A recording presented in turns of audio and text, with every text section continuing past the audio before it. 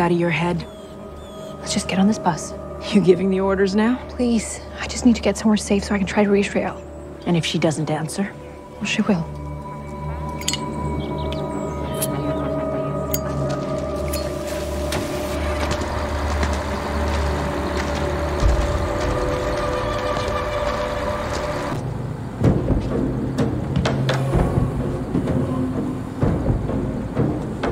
How you do, ladies?